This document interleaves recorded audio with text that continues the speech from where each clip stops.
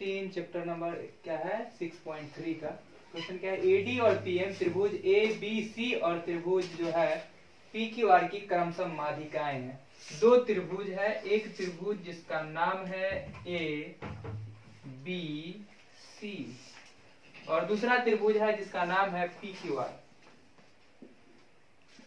जिसका नाम है पी क्यू आर दो त्रिभुज है।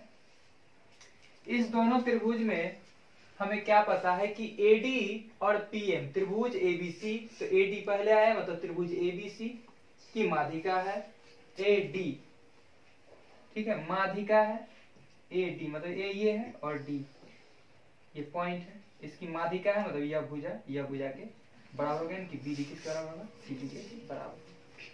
जबकि पी PQ और त्रिभुज की माधिका क्या है? PM है, यह इसका माधिका है और यह पीएम हो गया मतलब यह भुजा यह भुजा के बराबर।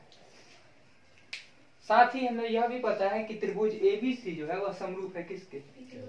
पी क्यू आर के। ये भी बात हमें पता है जब त्रिभुज समरूप होते हैं तो क्या होते हैं उसके? संगत भुजा आपस में समानुपाती। और संगत कोण क्या होते हैं? बराबर होते हैं। संगत भुजा समानुपाती और संगत कोण आपस में? बराबर बराबर होते हैं। ये गिवन है। हमें तो दिया गया है।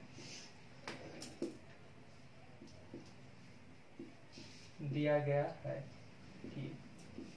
त्रिभुज ए बी सी समरूप है त्रिभुज किसके? पी क्यू आर बहुत इजी क्वेश्चन जब त्रिभुज समरूप है दोनों तो क्या होगा इसकी भुजा ए बी उसकी भुजा पी क्यू के समानुपाती। बी सी बट्टा क्यू आर और ए सी बट्टा होंगे कि नहीं होंगे? ये पता है? ठीक है, और क्या पता है? ध्यान से देखना। और हमें क्या पता है कि डी इसकी माधिका है दैट मीन्स क्या बोलेंगे कि बी डी जो है वह बराबर है किसके? सी डी के। और समझ आ रहा ना? और क्या है? क्यू एम बराबर है किसके क्यू एम बराबर होगा। माधिका है मतलब मध्य बिंदु है तो बराबर होंगे। साथ ही जब त्रिभुज समरूप है तो संगत कोण आपस में बराबर, कोण ए बराबर होगा कोण पी कोण बी बराबर होगा कोण क्यू और कौन सी बराबर होगा कौन आर की? समझ में आ गया? कोण सी बराबर होगा कौन आर की? ये सब बात हमें पता है। सिद्ध क्या करना है हमें?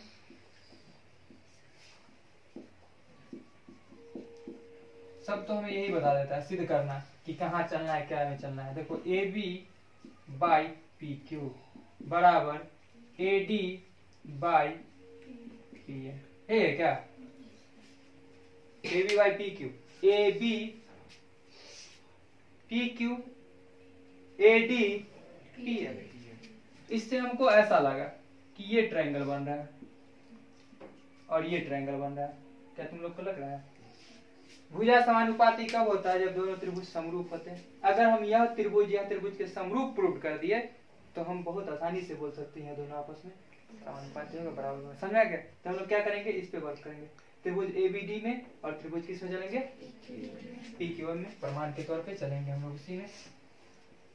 तो प्रमाण के तौर पे उसमें चलना है तो प्रमाण के तौर पे हम लोग क्या लेते हैं वो देखो। हमें क्या गिवन है कि ए बी बट्टा पी क्यू बराबर बी सी बट्टा क्यू आर बराबर ए सी बट्टा पी आर ये क्या है? हमें दिया गया है ना? दिया गया है। समझ आ गया? ये चीज़ हमें दिया गया था। बीडी क्या है? क्योंकि बीसी का मध्य बिंदु डी है, हा? तो बीडी दूरी को क्या कर सकते हैं? बीसी का आधा कर सकते हैं। उसी प्रकार क्यूएम दूरी को क्या बोल सकते हैं? क्यू आर का आधा। जिसको हम आधा लगा सकते हैं। तो क्या लिखेंगे? ए बी बट्टा पी क्यू बराबर हाफ़ बी सी बट्टा हाफ़ क्यू आर कोई दिक्कत? बराबर ए सी बट्टा पी आर ए सी बट्टा पी आर क्योंकि डी और एम जो है, क्या चीज़ है? बीसी की माधिका है और एम जो है क्यू आर की माधिका है। माधिका है मतलब क्या करना? दो बराबर भाग में बांटना। यानी बीडी का क्या साइज़ होगा? तो कहेंगे ना बीसी का आधा साइज़ होगा। क्यू एम का क्या साइज़ होगा? तो क्यू आर का आधा होगा।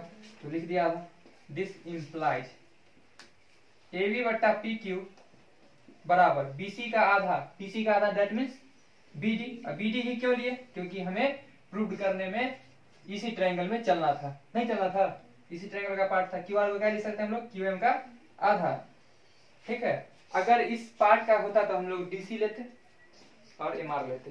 लेकिन हम लोग को उस पार्ट में नहीं चलना था। ठीक है? तो ये समझ आ गया? बराबर किसके? ए सी बट्टा कोई दिक्कत? नहीं है, चलो। अब हम लोग आते हैं त्रिभुज ए बी डी और त्रिभुज पी क्यू एम में ये दोनों त्रिभुज में ध्यान से देखना।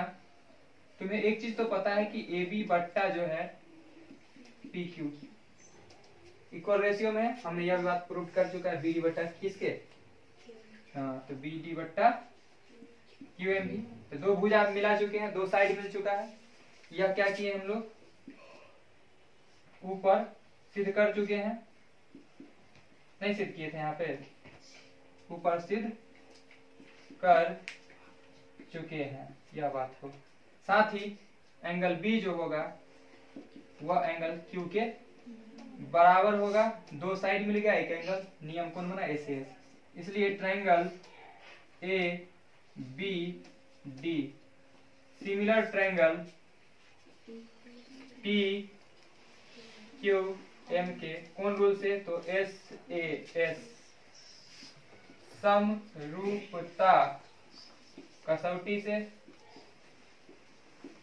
जब त्रिभुज समरूप होंगे तो संगत भुजा क्या होंगे? समानुपाती होंगे। इसलिए क्या बोलेंगे हम लोग? ए बी बट्टा पी क्यू बराबर होगा किसके? ए डी बट्टा पी एम के इस प्रकार यह बात सिद्ध होता है। समझ आ गया ठीक है नोट करो